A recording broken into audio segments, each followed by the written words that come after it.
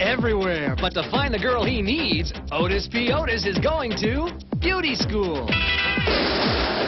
I want you to concentrate all your energies on helping me keeping Sylvia from winning this beauty contest Mr. Otis is sponsoring. If you win the contest, you will sign a lifetime contract to supply Otis P. Otis Enterprises with spokesmodels for all our products. No one can train sexy models like you can.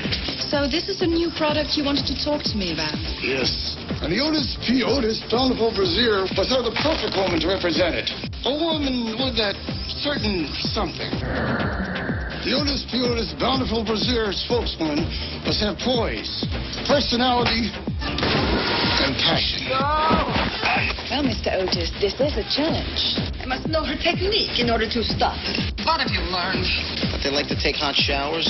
The Countess has tried to get the best of me once before. You must keep Sylvia's girls from reaching her club.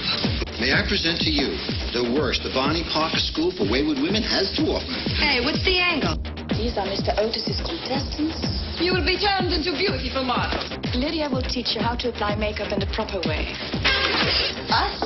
Become models? He will teach you how to take care of your hair. No way. Let's go to the wardrobe department. This one's real pretty. Someone's changing us into beautiful anything. That's what I'm counting on, darling. There's no way I let that old cow beat me. Ah, ha! That's the spirit, Sylvia. And may the best woman win. But which one of you will be the bountiful Brassiere girl? Otis P. Otis will find what he's looking for in beauty school.